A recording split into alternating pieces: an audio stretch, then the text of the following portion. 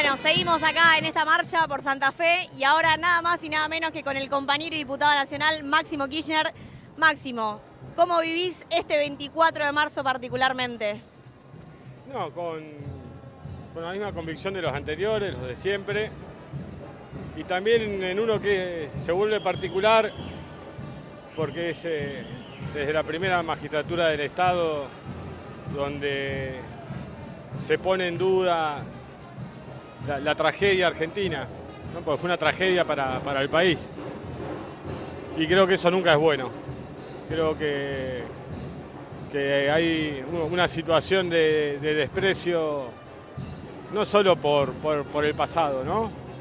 por los compañeros y las compañeras, por las desapariciones, la tortura, la apropiación de nenes y nenas, sino también en el presente por la gente, ¿no? Es como que no, como que si no pudiera haber un grado de empatía con, con, con el dolor, con el sufrimiento y por otro lado también con la esperanza y el anhelo de todos los argentinos y argentinas. Y creo que, que este 24 es una enorme demostración de lo que viene sucediendo, lo que sucedió el 24 de enero, cuando los trabajadores y las trabajadoras fueron a, defender sus derechos y todos estuvimos ahí, como hicieron las compañeras a defender el derecho también de las mujeres el 8. Y hoy este 24 de marzo eh, también. Lo que significan los derechos de la persona. El derecho a la vida y tantas cosas. Así que en 100 días el pueblo argentino por diferentes razones se va expresando y manifestando su contento eh, con las políticas actuales y obviamente que esto es un proceso largo, de largo aliento, que así hay que entenderlo y por lo tanto lo que da mucha tranquilidad es que ese nervio en el pueblo todavía está, en la gente está, así que lo vivo con, como siempre, también con muchas esperanzas y anhelos, con ganas, con ganas de, que podamos reconstruir una opción para que nuestro pueblo vuelva a tener eh, más días de felicidad. Sabemos que no se puede ser todos los días felices, pero necesitamos más días de, felicidad, de, de tranquilidad, de sosiego, a veces ante tantas cosas. Maxi, sabemos que estas últimas semanas, pero digo, ya desde la campaña electoral, eh, Milei, sus funcionarios eh, han instalado discursos negacionistas. Y ya que te veo con la campera de Racing, te voy a preguntar si a vos te gustaría tener eh, a Villarruel en tu equipo, por así decirlo. No, no, ni a palo, no, no, vos, vos imaginás. No, no, para nada. ¿Cómo voy a, cómo voy a querer construir una opción con alguien que defiende a los torturadores y a los asesinos de, tantas argentinas y argentinos y entre ellos de los padres de muchas compañeras, de las madres de muchas compañeras y compañeros míos? No, no, no. Eh, por un voto no se hace cualquier cosa y es otra cosa que hay que discutir también. Eh, tres votos más no valen decir cualquier cosa. Entonces creo que lo que tenemos que tener claro es que no, lo, no, no, no comparto nada, no comparto su visión del pasado, no comparto su visión del presente y tampoco la visión del futuro. Lo que pasa es que algunos sectores buscan, eh, por algunas características que algunos denotan del presidente, levantarla a ella, digamos, pero la verdad que ni fu ni fa, no pasa nada. Acá Cami, Hola Máximo, preguntarte cuál es el mejor homenaje que le podemos hacer hoy a esas abuelas y madres que a 48 años, hoy teniendo 90, 80 años algunas, siguen, siguen caminando y siguen participando de esto, de esto, ¿no? Yo creo que el mejor homenaje es dar el presente, movilizarse de todas las formas. Nosotros encontramos una que, que aparte compromete tiempo y ganas, que es caminar desde, desde un lugar, desde un campo de concentración como fue la, la ESMA, hasta la Plaza de Mayo, donde ellas empezaron a rondar, cuando, ningún, cuando pocos argentinos y argentinas eh, se animaban y lo hicieron, y creo que el mejor homenaje es, eh, qué sé yo, a mí se me ocurre, la otra vez estuve con Estela, la veo Tati, me acuerdo mucho de Eve, qué sé yo, eh, creo que lo que podemos hacer y hacemos es eso.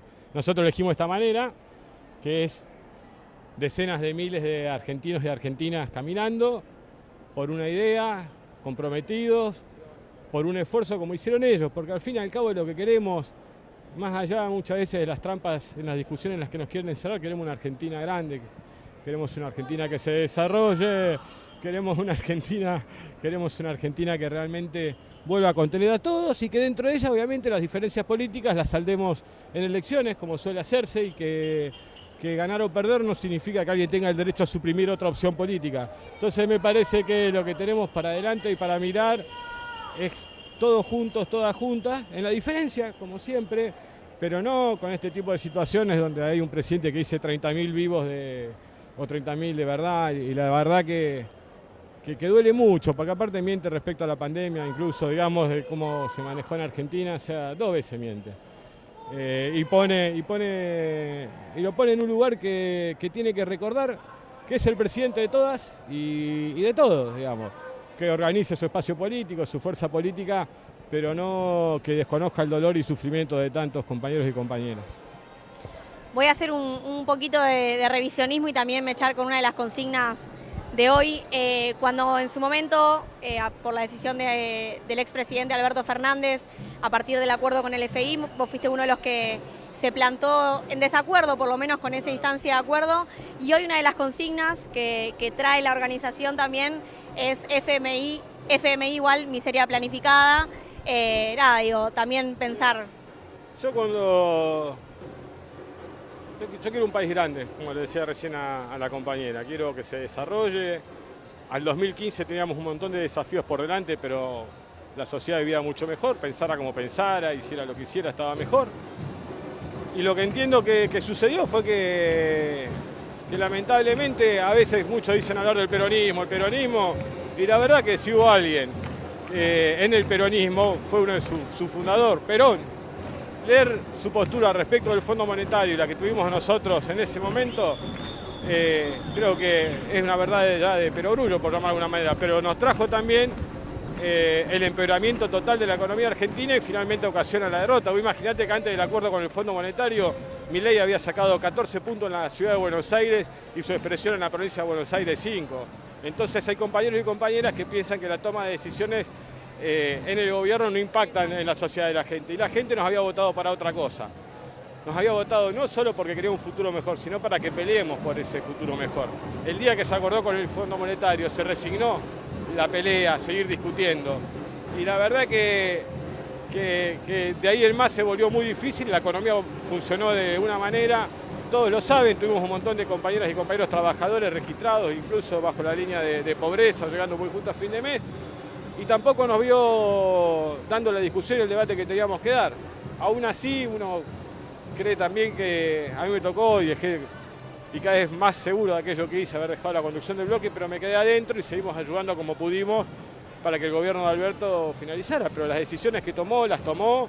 El manejo de la economía de Guzmán fue el manejo de la economía de Guzmán. Todos se hacen los distraídos ahora, buscan enjuagarse en diferentes entrevistas, pero hicieron lo que hicieron y ahora quieren venir a dar lecciones cuando no podían explicarnos por qué estaban haciendo el acuerdo que hicieron. Entonces creo que eso condiciona ferozmente, condicionó ferozmente la economía argentina y la va a seguir condicionando y es una discusión no solo nuestra, que debería ser de todas las fuerzas políticas, porque después todos tienen que administrar el Estado.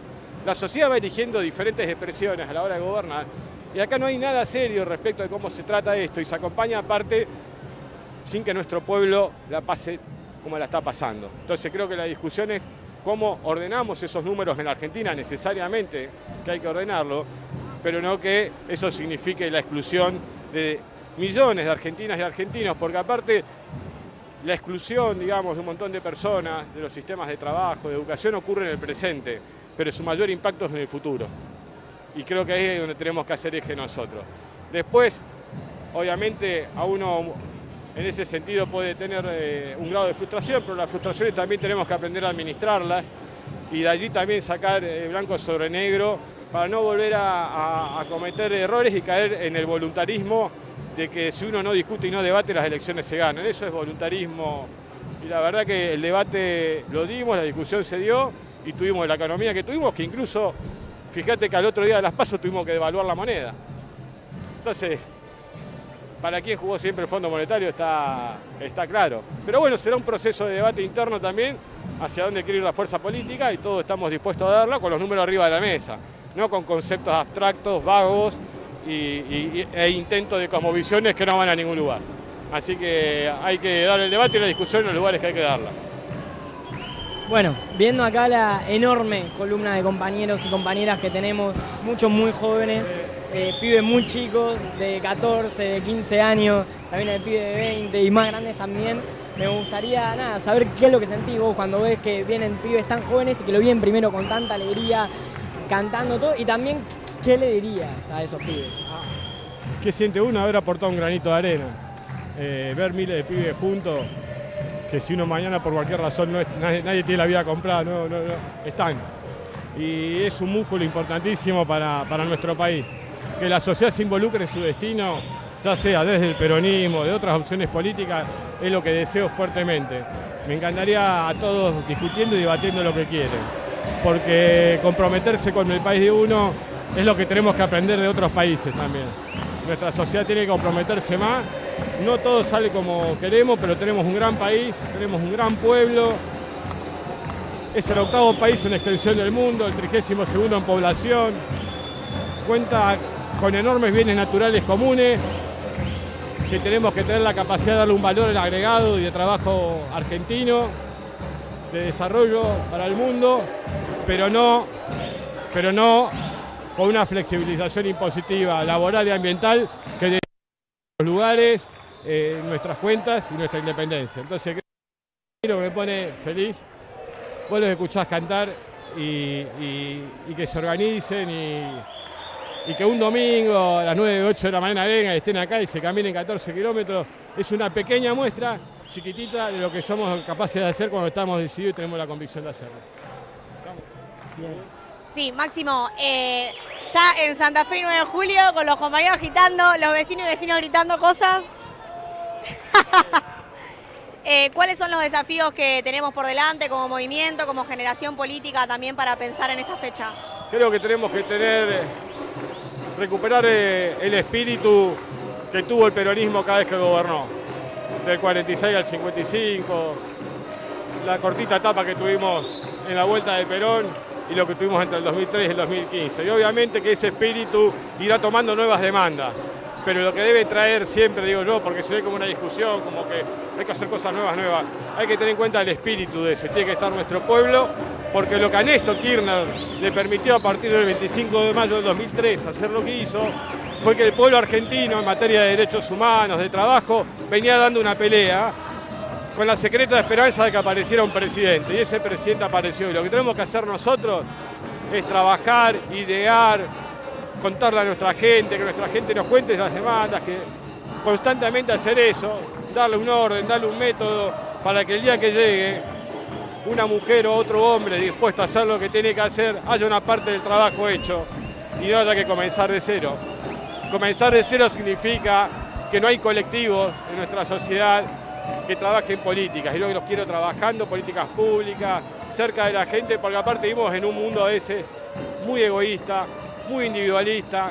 La pandemia dañó mucho, dañó todas las economías, pero más que dañar las economías, dañó las cabezas y los corazones de muchos de nosotras y nosotras, porque estuvimos en soledad, porque la pasamos mal, porque nos dio bronca, y hay que salir de ahí, hay que salir en lo espiritual y en lo material adelante.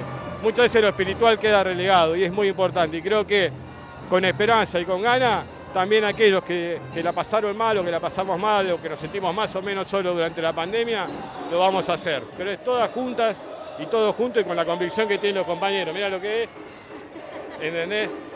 Es para propios y extraños, siempre tienen que tener en cuenta que hay un gran colectivo de hombres y mujeres, de pibas y pibes que tienen unas ganas terribles. No tenemos que hacer que pierdan las ganas, nada más.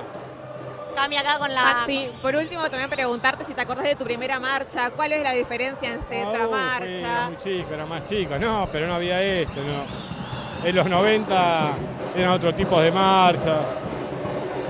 Y hoy ha crecido en masividad en todos los lugares, en la plaza, porque también